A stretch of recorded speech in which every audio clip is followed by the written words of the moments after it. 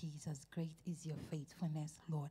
We give you praise today and always. Father, we thank you for a time like this. We thank you for another opportunity to be at your feet, Lord. We thank you because your presence has never left us and it will never leave us. So therefore, Lord, we're giving you back all praise, Lord. We're giving you back all praise to Jehovah.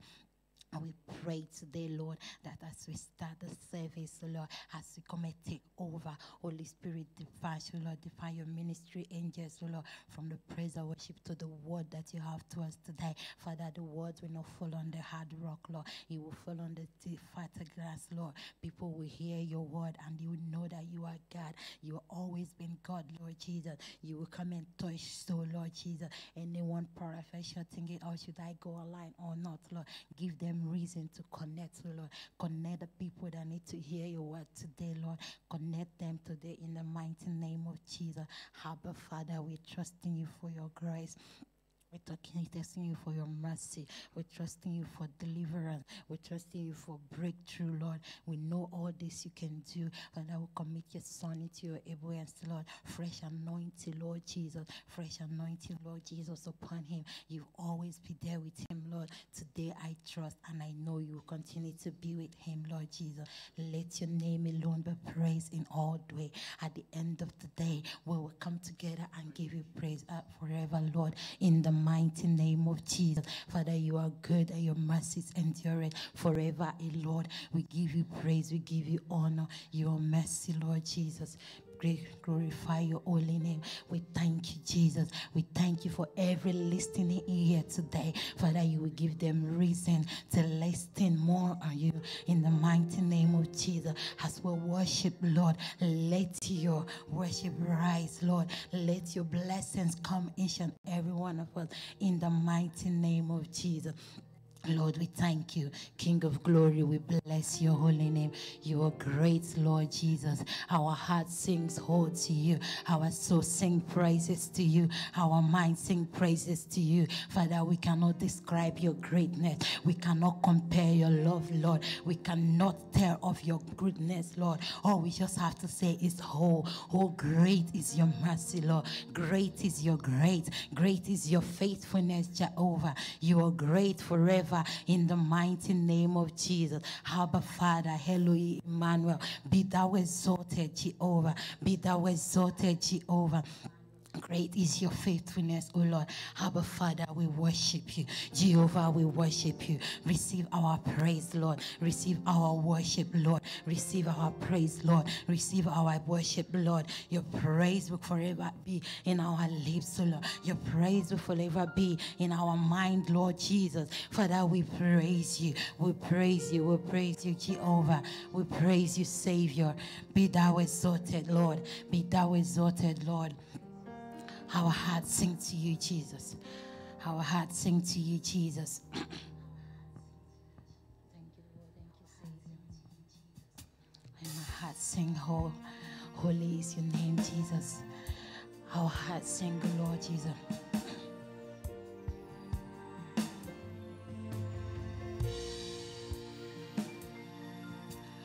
oh,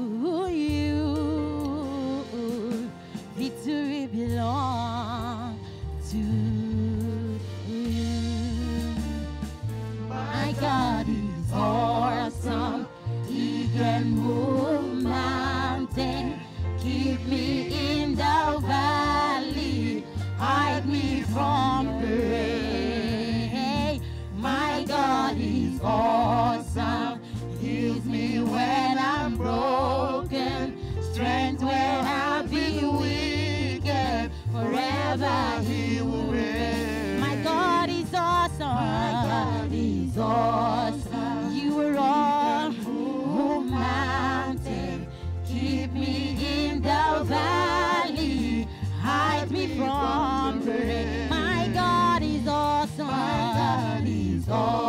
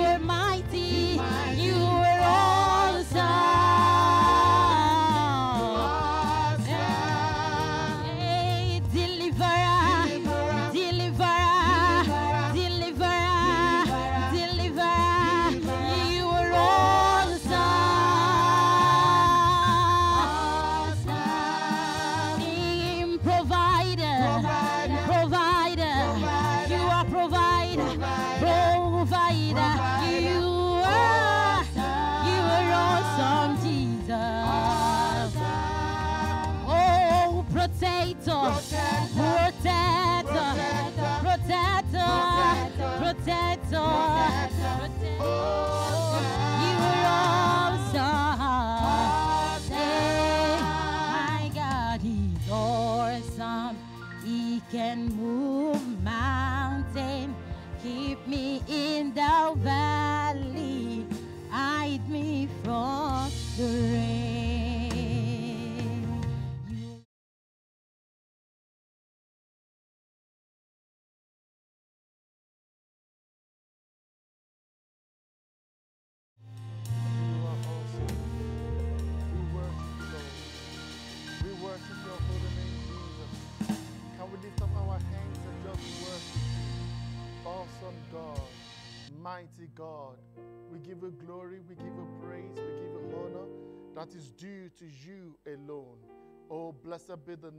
Of the Lord, the one who was, the one who is, and the one who is to come.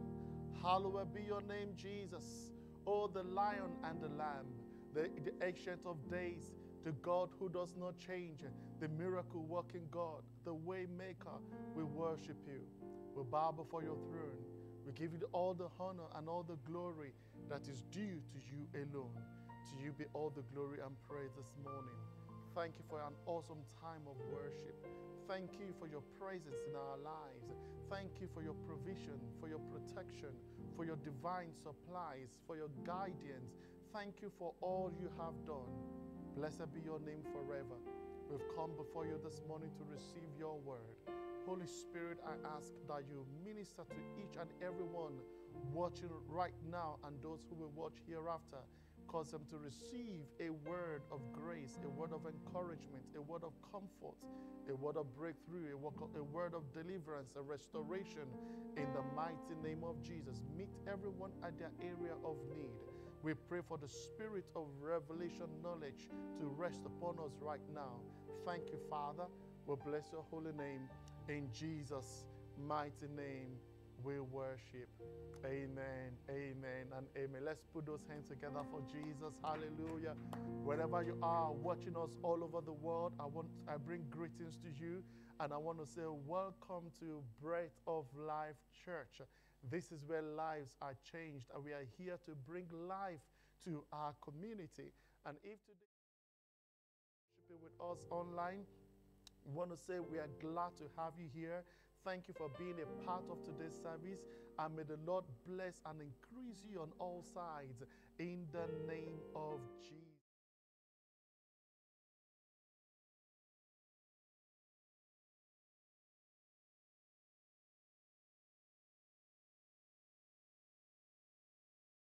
Third installment of the message. So today's message is titled Dealing with Hindrances, Part 3. And so, hindrances to what? Hindrance to the fulfillment of God's vision, hindrance to the fulfillment of your dreams, your desires, your aspirations, uh, hindrances to the fulfillment or the satisfaction of your success goals, your progress in life, in ministry, and your next level in God. Now, individual ex, uh, individuals experience various, I mean, disparate hindrances in life. Some of them some of them were, you know, hindrances.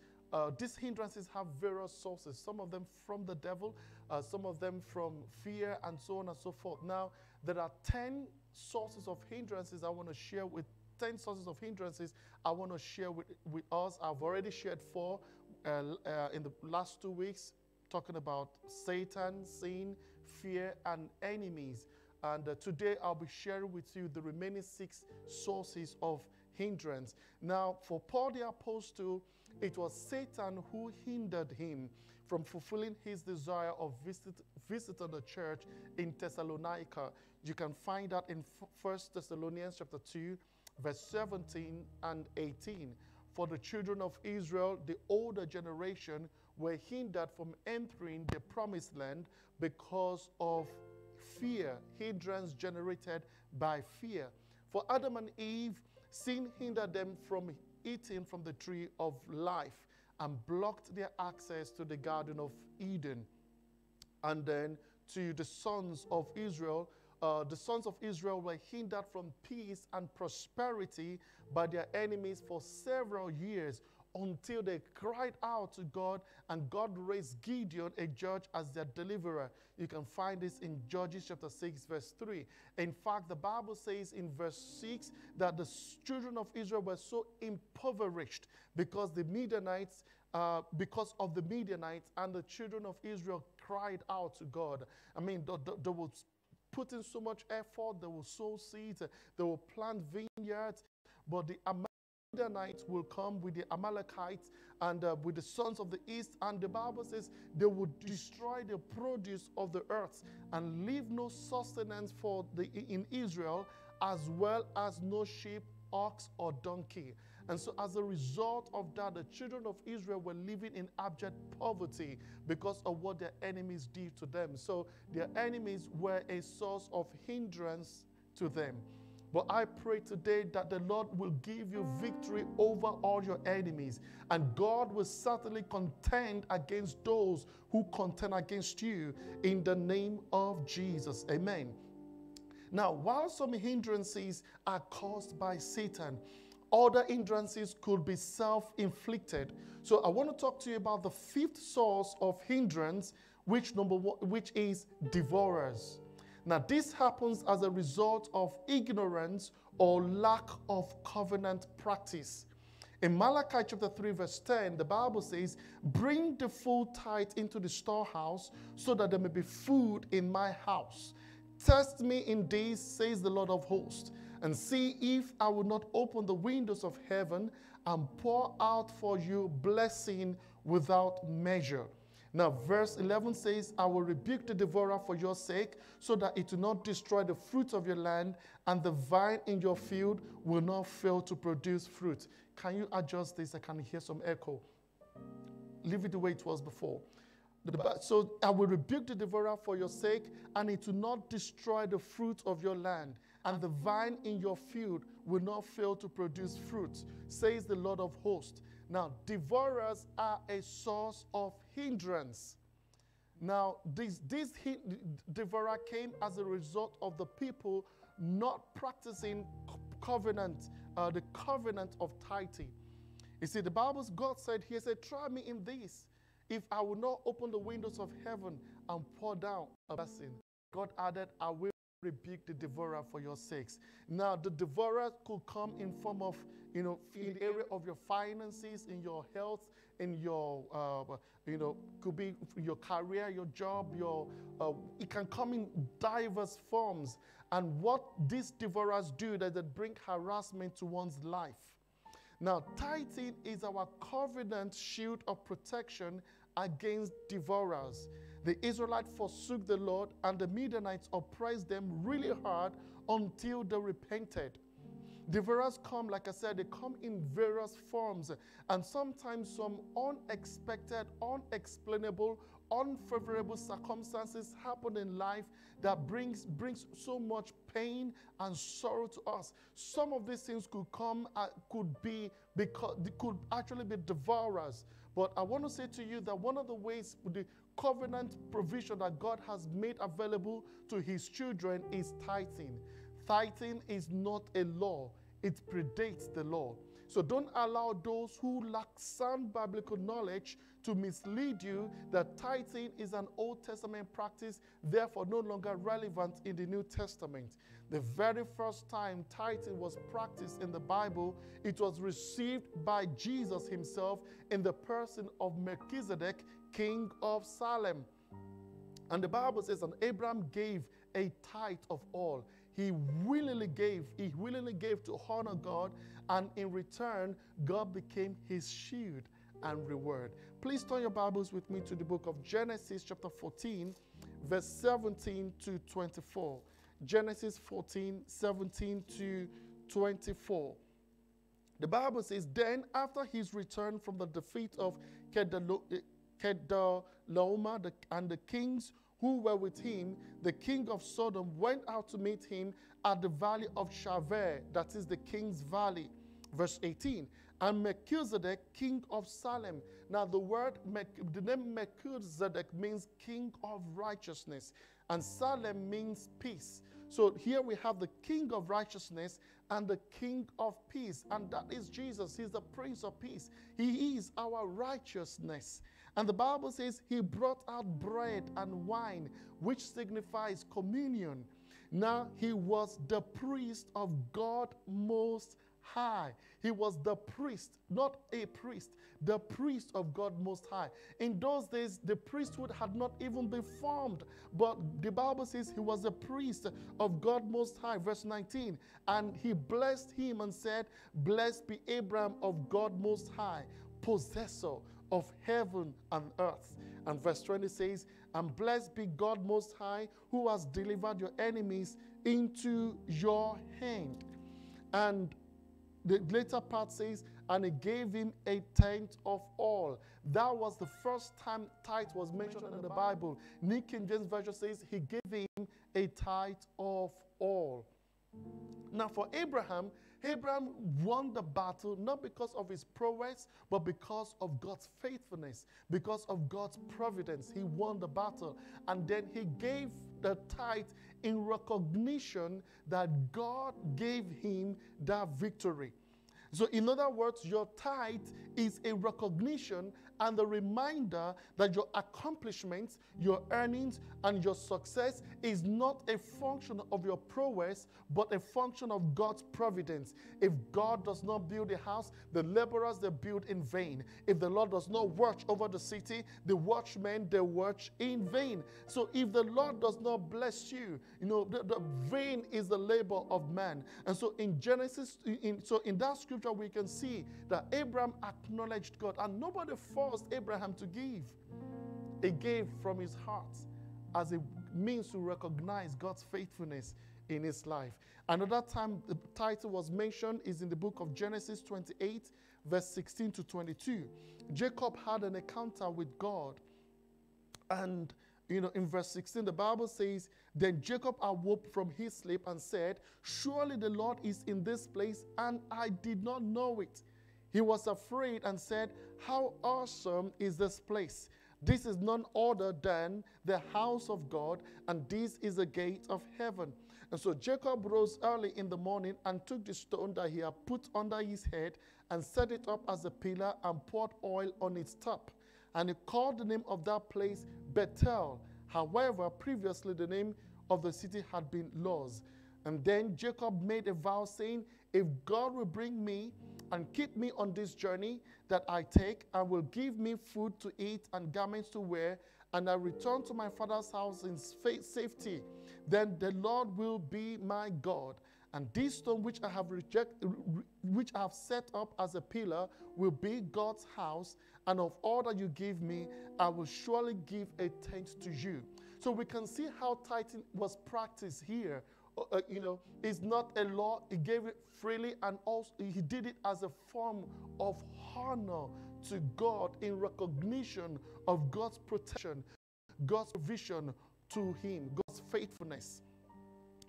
And that's what the Bible says honor the Lord with your substance and the, with the first fruit of your increase. It is honor. It is honor to honor God in recognition of what He has done for you. And in return, God, God in return, God shields you or He shields us from the devourer, and also He gives access to us. The Bible says, He said, the Bible said the gift of a man will make room for him. The, looking at that scripture is not actually referring to talents and potentials. And, and uh, the Bible, when the Bible says the gift of a man makes room, the gift is literally gifts that makes room. That's what the Bible says. When Jacob wanted to appear before Esau, his brother, he sent gifts ahead of him. And that gift certainly made room for Jacob to be able to appear before Esau. So your gift, your tithing will make room. Your tithe will make room for you. It is honor, like I said, and recognition of God's sustenance.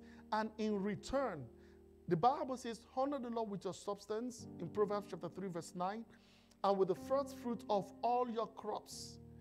And then the Bible says, in return, verse 10 so your barns will be filled with plenty, and your vats will overflow with new wine. There's always a blessing that comes with it. I'm spending so much time on it on this because many people have listened to junks, and these junks have polluted their minds, corrupted their minds, and some of them have been hindered from manifesting the blessings of God. Can I say to you that tithing is not compulsory? However, those who know the benefit of it will reap the fruit of it. So the Bible says, so your barns will be filled with plenty. The word plenty is from the root word savar, in Hebrew language, which means to be satisfied. In other words, God is saying you'll be satisfied in every area of your life, and your vats will overflow with new wine. In other words, the vats that talks about reservoir, it will burst with new wine. Hallelujah. God said, Try me in this. If I will not open the windows of heaven and pour down a blessing which your storehouses will not be able to res- uh, contain, and then I will re- rebuke the devourer for your sakes. Hallelujah. This is the entitlement of those who practice this covenant of tithing. And you can do warfare with it. If you have been faithful, you're paying your tithes. You can stand toe to toe against the devourer and say, This is what God has said. It's, it is an agreement. The reason why it is a covenant is this you do your own part and watch God do his own part by, by opening the windows of heaven to pour down a blessing and also to rebuke the devourer for your sake. For Adam, for, for, for Abraham, God said to him, if, you go to back to Genesis chapter 14, after Abraham had given God a tithe of all, look at chapter 15, verse 1. After these things, what things? The experience where Abraham gave a tithe of all to God, and of course, his encounter with the king of Sodom, saying to the king of Sodom, I will not take anything from you, lest you will think that king, the king of Sodom made Abraham rich. So Abraham was telling them that, see, I recognize that God is indeed the source of my wealth. And verse 1 says, So after these things, the word of the Lord came to Abraham in a vision, saying, Do not fear, Abraham. I'm a shield to you, and your reward shall be very great. God is saying, I'm your shield of protection against the devourer, and your reward will be very great. In other words, that speaks of blessing. And so it is, a, a, one is shielded from all forms of harassment from the enemy. It could be blackmail. It could be harassment in your place of work. It could be harassment in your health, in your, in your health, in your career, whatever it is. God said, I will put an end to that devourer. Amen. And just in case you are not convinced that Jesus was Melchizedek or Melchizedek was Jesus, if you go to the book of Hebrews, chapter 7, Hebrews chapter 7, verse 1 to 3. Hebrews chapter 7, verse 1 to 3. If you're getting blessed, say amen. It says, For this Melchizedek, king of Salem, priest of the Most High God, who met Abraham as he was returning from the slaughter of the kings, blessed him, to whom also Abraham apportioned a tithe of all the spoils, was first of all, by the translation of his name, King of Righteousness and then also King of Salem, which is King of Peace. Verse 3 Without father, without mother, without genealogy, having neither beginning of days nor end of life, but made like the Son of God, he remains a priest perpetually. And then to further solidify this point, if you go to John chapter 8, verse 56 to 58, Jesus speaking here Oh, this is so exciting. Jesus speaking here, he said here that um, Jesus said, Your father Abraham rejoiced to see my day, and he saw it and he was glad. And so the Jews said to him, You are not yet even 50 years old, and have you seen Abraham? And Jesus said to them, Truly, truly, I say to you, before Abraham was born, I am. And therefore they picked up stones to throw him, but Jesus hid himself and went away from the temple. Jesus, before Abraham was, I am. In other words, Abraham saw Jesus. And before Abraham was, before he was born, Jesus already existed. So Jesus was the one who saw, who encountered, who, who, um, who saw Abraham, or Jesus was there, uh, was Melchizedek. And the, that first encounter with him, Abraham gave him the tithe of all. And so, whether to say that tithing should be done in the Old Testament uh, is only done in the Old Testament and uh, should it be done in the New Testament is an irrelevant question because neither the Old Testament or New Te- it is neither an Old Testament or a New Testament order uh, ordinance. In fact, if you go to the book of Acts, chapter 4, verse 36 to 32, the Bible says the apostles they gave more than tithes in the pit. The believers then gave more than tithes. They gave their all to God. First, um, Acts chapter 4, verse 32 to, to 36. And the congregation of those who believed there were of one heart and soul, and not one of them claimed that anything belonging to him was his own all things were common property to them, and with great power the apostles were giving testimony to the resurrection of the Lord Jesus, and abundant grace was upon them all. Verse 34. And for there was not a needy person among them, for all who were owners of land and houses will sell them and bring the proceeds of the sales and lay them at the apostles' feet, and they would distribute, they would distribute to each one according to their needs. So we can see here. Can I say to you that your tithe is not a donation? Your tithe is not a contribution towards a project. No. Your tithe is a gift to God in recognition of His faithfulness in your life. And listen, your tithe is not your, your, your tithe is sacred and it is given in the place where God has designated, namely in God's house. And God appoints people to namely the priest to collect the tithe on his behalf. If it is not done under these circumstances, if you're giving to other projects thinking that you're giving tithe to God, that is not tithe. Those are just donations or contributions towards a good cause. But your tithe must be given to, in a, to God in a designated place, collected by the persons that God has appointed to do so. Amen. Now, the sixth source of hindrance is discouragement. First Kings chapter 19, verse 1 to 8. First Kings chapter 19, verse 1 to 8. We're looking at hindrances here today. Just remember what the Bible says about, um, I think, in the book of Joel, chapter 2, when the Bible says that I will restore unto you the years that the caterpillars have eaten, the cankerworm, the uh, palmer worms, the caterpillars, and, and all this army that I sent before you, I will restore them unto you. Now, those things were actually devourers.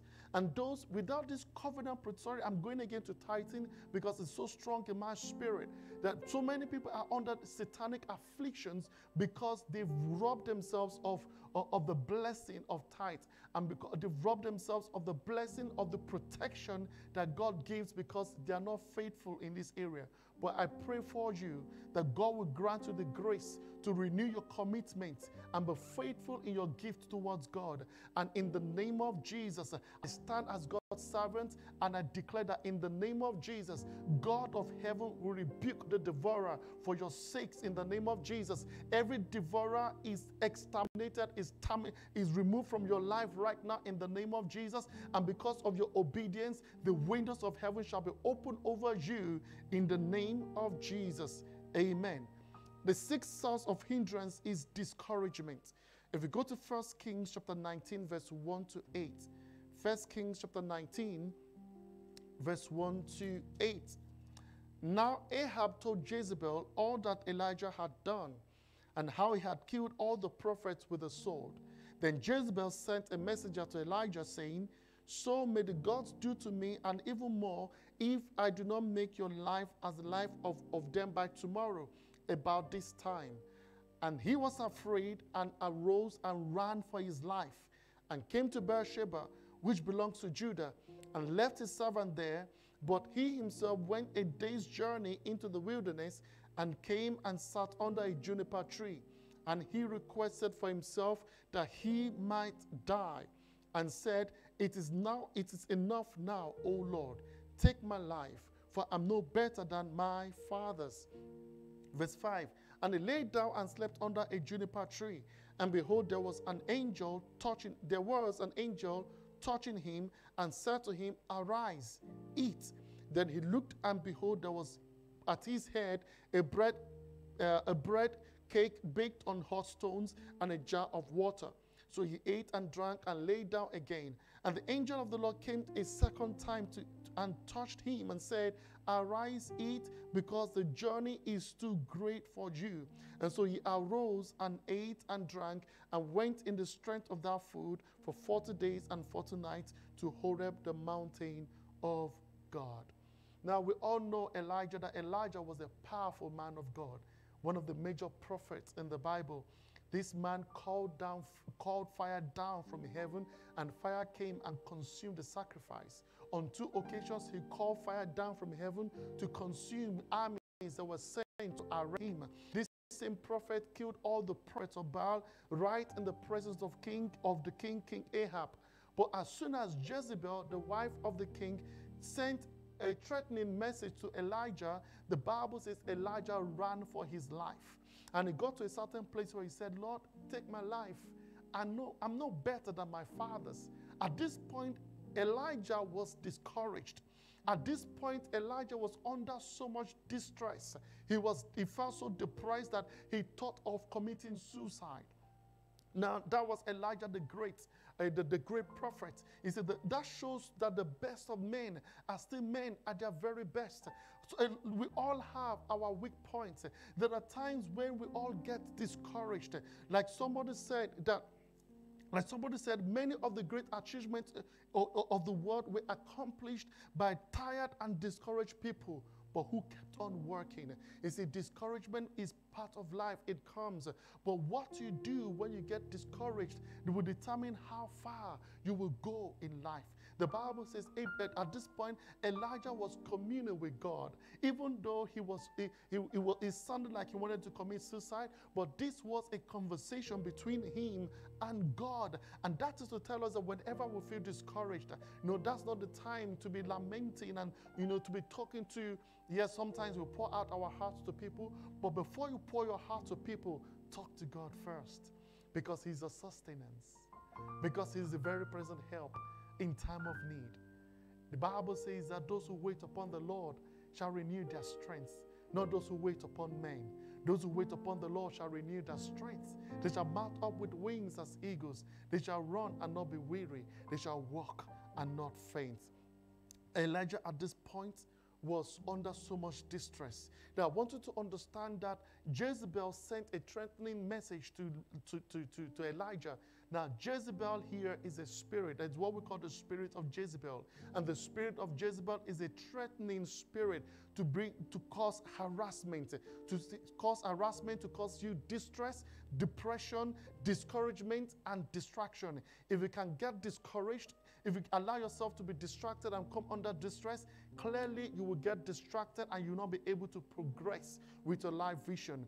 Therefore, it becomes a source of hindrance. And this harassment could come in various areas of our lives. It could come as from one's employer, it could come from your academics, your career, your health, from opposition, even from your past mistakes, debts, financial difficulties, and so on. But I pray for you today that may the Lord silence every voice of harassment in your life. In the name of Jesus, every financial harassment will come to an end today. The Lord will make a way where there seems to be no way. And there are voices of opposition. The Bible says God will give you a mouth and a wisdom which your adversary will not be able to resist nor gainsay. I pray today that the God will silence the voice of Jezebel over your life in the name of Jesus. Elijah was burnt out. He was discouraged. Meanwhile, God had a mission for him to anoint two kings, one over Syria and the other over Israel, and then a prophet in his place. Now, for Elijah to get discouraged, uh, you see, Elijah got discouraged, but thank God that whilst he prayed, he fell asleep. And then an angel came and gave him bread and water. And this, he was so exhausted that the angel had to do it twice. And the Bible says he walked in the strength of that food for 40 days and 40 nights. I pray for you that may you find nourishment in the word you're hearing right now in the name of Jesus. This word is indeed food, and I pray that it will nourish your spirit, it will bring spiritual nourishment to you. You will find comfort in this word, you will find courage in this word in the mighty name of Jesus. Hallelujah.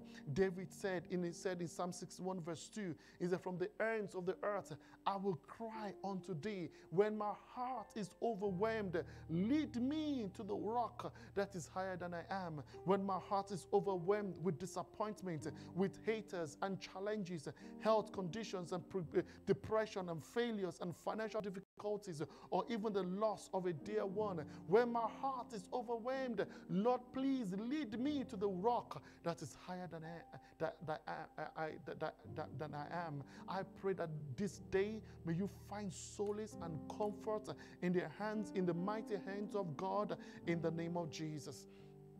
In 1 Samuel chapter 30, hallelujah. 1 Samuel chapter 30, we were told about David, how he got discouraged. The Bible says, then it happened when David and his men came to Ziklag on the third day that the Amalekites had made a raid on the, on the Negev and on Ziklag and had overthrown Ziklag and burned it with fire. And they took captive the women and all who were in, in it, both small and great without killing anyone, carried them off and went their way. Now, when David and his men came to the city, behold, it was burned with fire, and their wives and their sons and their daughters had been taken captive. Verse 4. Then David and the people who were with him lifted their voices and wept until there was no strength to weep again. Now, these were mighty men, these were warriors. The Bible says they wept until they had no strength to weep anymore. Why? Because they were under so much distress, they were discouraged. Verse 5 says, Now David's two wives had been taken captive, and Ahinoam the Jezreelite and Abigail the widow of Nabal the Carmelite. Moreover, David was greatly distressed because the people spoke of stoning him, for all the people were embittered, each one because of his sons and daughters. But, hallelujah, but David encouraged himself in the Lord his God. Oh, may I pray that may you, may you find strength in this word today in the name of Jesus. Whenever you feel discouraged, I want you to encourage yourself in the Lord. I want you to strengthen yourself in the Lord. And David went to God. He went to God to pray because in the place of prayer we find strength. In the place of prayer we find courage. Prayer makes tremendous power available. And so David went to God in verse 7 and David said to Abiathar, uh, Abiathar, the priest, the son of Ahimelech, please bring me the ephod. And so Abiathar brought the ephod to David, and David inquired of the Lord, saying, Shall I pursue this band? Shall I overtake them? And the Lord said to him, Pursue, for you will surely overtake and you will surely recover all. Hallelujah. I'm jumping in my spirit right now because this is the word for someone here today. And the Lord is saying to you, You shall surely pursue, you will overtake, and you will recover all in the name of Jesus. If someone is standing next to me, high tell them, pursue, overtake, and recover all. Pursue, overtake, and recover all in the name of Jesus. It is not time to be discouraged. The journey ahead of you is far and is great.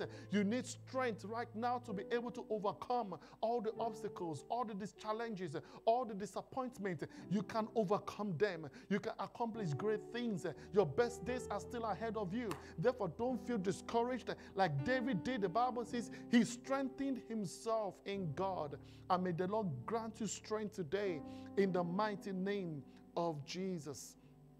Amen. Amen and amen. Now, the source, the seventh source of hindrance can be found in First Samuel, um, First Kings 19, 15 to 21. First Kings, still on the story of Elijah. First Kings 19, verse 15 to 21. Then the Lord said to him, Go, Return on your way to the wilderness of Damascus. And when you arrive, you shall anoint Hazael king over Aram, uh, that is Syria. And verse 16, and Jehu the son of Nimshi, you shall anoint king over Israel. And Elisha the son of Shaphat of Abel Meholah, you shall anoint as prophet in your place. It shall come about that the one who escapes from the sword of Hazael, Jehu shall put to death, and the one who escapes the sword of, El- of Jehu, Elisha shall put to death. Let's go to verse 19. And so he departed there and found Elisha the son of Shaphat, while he was plying with 12 periods of oxen before him, and he with the twelfth. And Elijah passed over to him and threw his mount, mantle on him. And he left the oxen and ran after Elijah and said, Please let me kiss my father and my mother, then I will follow you. And he said to him, Go back again, for what have I done to you? So he returned from following him and took a pair of oxen and sacrificed them and boiled their flesh with the implements of the oxen and gave it to the people, and they ate. And then he arose and followed Elijah and ministered to him. You see, what if Elisha had said that I've never been a prophet? I've known this field this area of expertise for so long a time. I'm established in this field. I don't see any reason why I should leave the unknown to the known to the unknown, to leave the familiar for the unfamiliar. So Elisha could have said no. But that would have become a great hindrance to him from fulfilling his destiny. So the seventh source of hindrance here is maintaining the status quo. Sometimes God may be calling you to a higher height, to a new level, to a new place, to an unfamiliar territory. And sometimes, because we are used to our comfort zone, we want to remain where we are. And we could use that to change our, our, our destiny. Now, there were 12 ox, pairs of oxen that Elijah was, you know, Elisha was, was, was driving.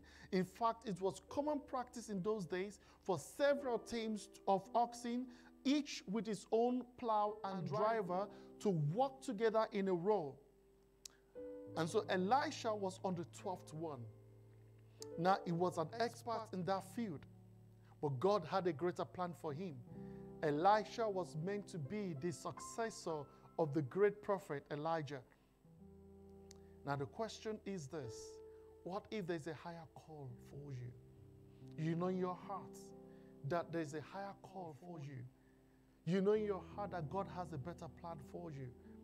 And just like God said to Abraham, Abraham, depart, Genesis chapter 12, depart from your country, from your relatives, and from your father's house to a land that I will show you. God called Abraham from the known to the unknown, a land that I will show you. And the Bible says Abraham did not remain in that, in that comfort zone. He stepped out by faith. Listen, it takes faith to leave the familiar for the unfamiliar. It takes faith to leave the known for the unknown. It takes faith to step into a new territory and begin to navigate a new area. And I pray that God will, you will hear the voice of God and the Lord will grant you the grace to be able to heed that call to step onto higher heights in the mighty name of Jesus. Is that there are individuals who get stuck in life, who get stuck behind dumb dumb jobs, dumb career because you, you know, and you've been there for so long in time, and because they are unable to adapt and yield to the next call of God in their lives, they get stuck. Listen, purpose is transient. And so, as we progress in our destiny, to, uh, to de- progress in, in, in, in our destiny, our purpose evolves.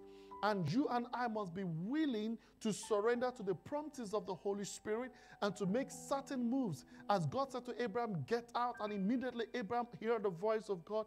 He left that place. You see, the fear of change, the fear of the unknown will make people remain or make them maintain the status quo. You have learned certain skills, established in certain areas of expertise, but you know in your heart that God is leading you into something else. You can't explain it, you can't describe it, you can't articulate it. But the thing is, you've got to work with the light that you have right now. Usually, God does not give details. He said to Abraham, Depart to a land that I will show you. But He will give you sufficient light for you to work with and walk with that light. Until you make that move, you won't hear the direction for the next one. You won't receive the instruction for the next one. So make that move first. So when people ask, you see, when I'm, I'm not sure what Elisha explained to his family, to his parents, or to his business partners. Because how would he be able to articulate to them that he will be following Elijah around, washing their hands, or ministering to Elisha? He had a job, he had something, a means of income, but God had called him to begin to, to the office of, the of a prophet, and he would have to follow Elijah everywhere. But he obeyed. Would you be like Paul, who said in Philippians chapter, 13, chapter 3, verse 13 to 14? He said, One thing I do forgetting those things which are behind and reaching forward to those things which are ahead. I press towards the mark, the goal for the prize of the upward call of God in Christ Jesus. Listen, there's an upward call for your life. And you have to be willing to take that bold step. You have to be willing to take that bold step. Your current success is now history. Don't camp around it for so long. Ask God for what is next. Good is the enemy of great. Sometimes what used to be a blessing could end up becoming a hindrance if we don't know how and when to transition to transition to another level. Egypt was for once, once upon a time a blessing to Israel, but because the lingered were so long, it became a curse to them. If you linger, you litter. If you don't move with the cloud, you will be left behind. So I want to encourage you don't let where you are right now, your current place, become a hindrance unto you. Don't camp around that success for too long. Ask God, God, where is my next level? And the Bible says an angel, an angel said to him, Come up here, and I will show you things that must happen. And the Bible says initially the door opened before him, a great door in heaven, and the angel said to him, Come up here, and I will show you things that will happen after this. You have to step up. Say to your neighbor, step up. Hallelujah. Amen. Amen. Now, one of the things I want to draw your attention to is verse 20 of 1 Kings 19. The Bible says, And he left the oxen and ran after Elijah and said, uh, and ran after Elijah. Listen, Elijah was the future of Elisha. And so Elijah, Elisha had to run after his future. To run them means that he exerted more energy. To, run them means that he was focused, he was determined, he was convinced beyond every reasonable doubt that this man was his future. Listen, your vision is your future. Your current job may not be, may not be your future. Therefore, be smart to know what you need to pursue and what investment you need to make. Start investing into your future, start investing into your vision. Anything can happen, especially now where COVID 19 is causing a lot of redundancies. People are losing their jobs left, right, center. You've got to ask God, God, what have you called me to do? Listen, the place of assignment is a place of power. The place of assignment is a place of, of, of, of provision. God will always make provision in the place of vision. And so in verse 21, Elisha sacrificed a pair of oxen. He bowed it. He used the implement of the oxen to burn, to, to, to, to, to prepare the meal. And he distributed it to the people. And then he left them. He kissed them goodbye. And then I would say, you know what? I'm done with this current life. I want to pursue my future. I want to pursue my destiny. I want to pursue my vision. I don't know if someone is saying that to himself right now. You know what? I want to put everything aside. I want to pursue my vision. I'm not saying you should quit your job now, but what I'm trying to trying to say to you is that whilst you are doing your job, begin to invest in your future. Begin to invest in your in God's assignment for your life. Begin to invest in it. And one there comes a time whereby you know you are established in that area of assignment. You can quit your job and keep focusing on that area of assignment. Or sometimes your job could even be well aligned with your purpose. And that way you are pursuing, you know, both of them have become intertwined. That is the place we ought to be. Hallelujah. Amen. So you've got to be sold out to your vision. Now, eight source of hindrance. This one, I'll be quick with the remaining three. I, I, I felt in my spirit that I needed to spend time on the, the first three, which I've already done. So this, I've got the remaining three that I want to share with you. Now, the eighth source of hindrance is background, one's background or one's disability. In Luke chapter 19, verse 1 to 10, we all know the story of a man called Zacchaeus. Zacchaeus was a man of a small stature. And whilst other people were looking for Jesus, people could see Jesus. But this man, because of his stature, he could not see him. And the Bible says one says that he went, saw a tree, a sycamore tree, he climbed the tree, and then he was able to see Jesus. And Jesus turned to Zacchaeus and said, Zacchaeus, rejoice for salvation has come to your house today. I will be lodging with you tonight. Listen, some people have been disadvantaged by reason of their background, their race, their country, or even disability. But Zacchaeus did not allow his disab- uh, well, his, uh, his uh, what's it called? His, I mean, his stature was clearly not a disability. Don't get me wrong. You know, his stature was clearly not a disability. Although he was short, and because of short, he felt as though he was disadvantaged. And therefore, he needed to look for a leverage. Listen, God, anything that happens to you in life, your background, your stature, your color, your race, should never be a source of hindrance. If you think it's going to be a hindrance to you, then it will be a hindrance. You've got to rise above it. You've got to look beyond what seemingly looks like a hindrance to you. You've got to look above it and look for a leverage right to, to, to, to stand upon. We are told about the story of Ray Charles. Ray Charles was blind in his two eyes at the age of seven, destitute, uneducated, a blind African American. At the age of 14, he was orphaned. How would this young man survive? But listen, before he died, he won 17 Grammy Awards. He could fly an aircraft. He made, he became successful in life, all to the glory of God. He did not allow his disability, his background to become a hindrance unto him. Say to yourself, I will never allow my background, my race, my, my disability, whatever it is, my level of education, no, nothing will become a hindrance unto me in the name of Jesus. Listen, the only disability that can hinder you is your mind. For as a man thinks in his heart, so is he. If you think you are disabled, if you think you are, you are disabled, then you are disabled. In, in fact, disability of the mind, mental disability is worse than physical disability. And when I say mental, I'm talking about the capacity to think, the capacity to be creative, the capacity to birth ideas. If one is disabled in those areas of uh, in that faculty, it is worse than physical disability.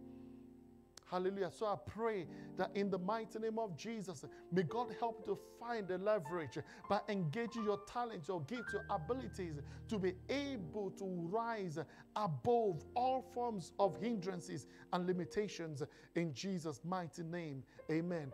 The ninth source of hindrance is bad attitude. Bad attitude, and um, I also call this borrowed personality. Let's deal with bad attitude first of all. You see, bad attitude can become a hindrance. In Joshua chapter 14, verse 24, God said, But my servant Caleb had a different attitude. While others were saying, Oh, we cannot enter the promised land because we're like grasshoppers in our eyes. And but God said concerning Caleb, he had a different attitude. You see, a bad attitude is like a flat tire. It will keep you grounded until you change it. Nabal of the husband of Abigail had a terrible attitude. In 1 Samuel chapter 25, verse 4 to 38, is a long read. You can read it in your own time. He was sharing his sheep, and he, he was quite a wealthy man, a well to do man, but he was also a foolish man. And so when David heard that he was sharing his sheep, David wanted to you know, help him. At that point, David, David needed help. And so David needed him to like at least support him with some items because the man could afford it. But look at what he said. He disrespected David he insulted David, and David was angry when he heard this. And David wanted to take matters into his hand to, to, to, to, to eliminate the man. But the wife, wife, the wife of Nabal, Abigail, quickly took items. You see, she put gifts together, and that gift actually made room for her. You remember when the Bible said the gift of a man will make room for him? She put items together, ran towards David, and gave those items to David. And she spoke and convinced David not to take matters into his hand.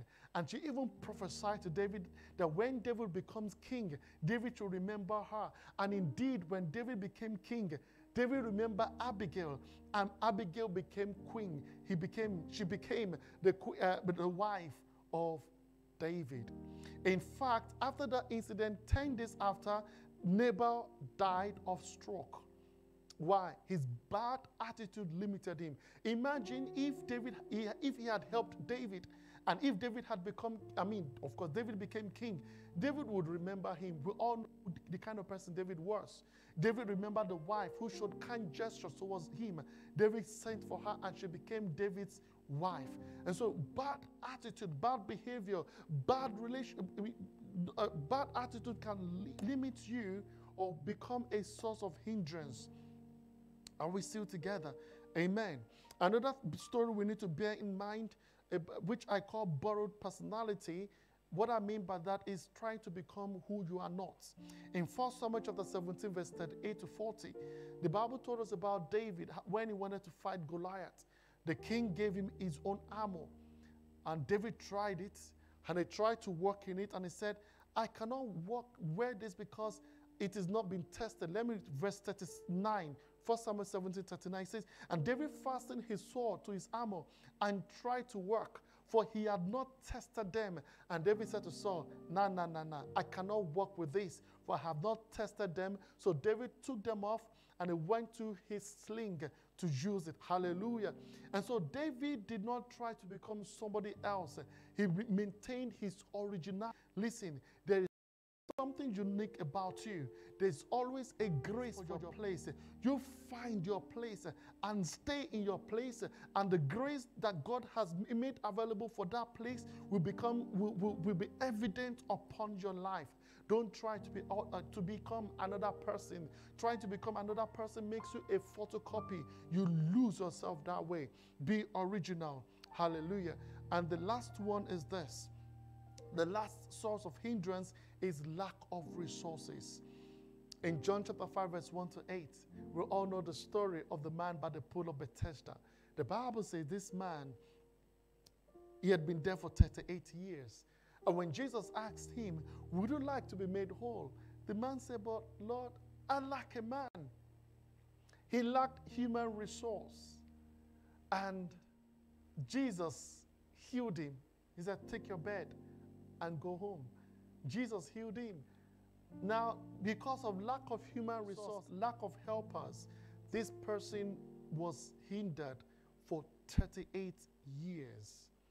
I pray for you that in the name of Jesus, that every help you need will locate you in the name of Jesus. Peradventure, you've been stagnant for, or you've remained in a place for so long a time, and that's because you need a helper. David said, I lift up my eyes to the hills. From whence cometh my help? My help cometh from the Lord, the maker of heaven and earth. Today the Lord has rem- remembered you and he will help you, send help your way. Your help is on its way in the mighty name of Jesus. Do not lose hope.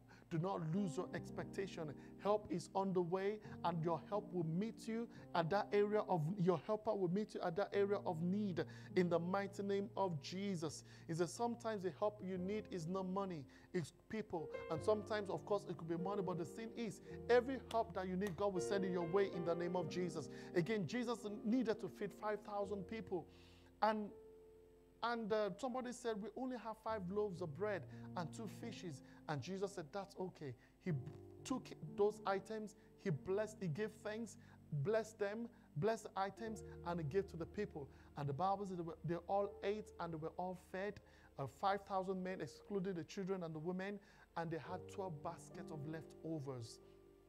Jesus did not perform. The miracle was based on a small resource, but at least there was a resource for him to work with. So, lack of resource could be a source of hindrance. I pray for you that God, you, you see, you need a miracle. If you don't have resource at all, what you need is a miracle. And listen, God, no matter how small what you have, you see, that little is sufficient for God to work with. Remember that woman, with that widow whose sons were meant to be taken uh, uh, as slaves. The Bible says that she said, But I have a small bottle of oil. And the servant of God said, Take that oil and borrow vessels from your neighbor and lock yourself inside and begin to pour. That small item was a resource that she had. And because Thank God, all along she had despised it, but the prophet opened her eyes to see the power in that resource. Listen, God may have even given you something, but because you despise that thing, that resource, that, that because you despise it, it has become a source of hindrance to you. Begin to pray and ask God that God draw my attention, draw my attention, and put my eyes to those resources you have made available that I don't recognize. Cause me to begin to recognize them today, and that could be the source or that could be the beginning of your breakthrough. Don't despise that talent. Don't despise that gift. Don't despise that resource that God has made available. Take it and give thanks to Him, and the blessings of God will rest upon it. Hallelujah. And so we've looked at 10 sources of hindrances. And I pray that in the name of Jesus, no matter what the hindrance will be today, could be, that by the power of the Holy Spirit, that hold is broken in the name of Jesus. Amen. Is it in two weeks and the last Sunday of this month? Uh, the last Sunday of this month, we're going to be having an anointing service. The Bible says, by the reason of the anointing, the burdens shall be lifted and the yoke shall be destroyed. Every yoke of limitation, every yoke of hindrance, every burden that the enemy has placed on your shoulders, by the anointing, they shall be lifted in the name of Jesus, and your breakthrough shall reach, shall be in view. Your breakthrough shall reach your hands in the mighty name of Jesus. So I want to encourage you two Sundays from now. Do not miss it. It's the last Sunday of this month. It is ano- it's actually anointing and communion service, double barrel. So don't miss it. And I trust God that the Lord will keep us till then in the name of Jesus. Amen. We've come to the end of today's message. I know that you have been blessed. I have been blessed, and I will go back to listen to the message again and again. And I, I pray that the God of heaven will continue to increase and multiply you in the mighty name of Jesus. Amen. It's time to honor the Lord with our substance, you know, your tithe, your offering, whatever gift you want to give to Him. Remember, it is honor. You're honoring God with your tithes. You are giving your, your, your gift to Him. And so do it with cheerfulness. The Bible says when we give, we should not give as a matter of necessity. Don't give grudgingly. Don't give as a matter of necessity. For God loves a cheerful giver, and God is able to able to make all grace abound towards you, that you have a sufficiency in all things may abound to every good work. As you give, may the Lord bless and increase you abundantly in the mighty name of Jesus. Our accounts are being displayed on the screen right now. So. Uh, uh, uh, so, by the, as you give, the Lord will bless and increase you. In Jesus' mighty name, we pray. Amen. Now, as a reminder, we'll be back here again on Tuesday, actually on Zoom platform. Uh, we, we hold our prayer meetings on Tuesdays from 6 p.m. to 7 p.m. And then stay still on Zoom platform 6:30 p.m. to 8 p.m. and then on Sundays we'll be on Facebook and YouTube live from 10 a.m. till around 11:30. As you saw today, we've introduced pray worship session for about 15 to 20 minutes before the word comes, and I know that the Lord will keep us all in the name of Jesus. Once again, thank you for being a part of this service. God bless you. Bye for now and see you next time. Amen.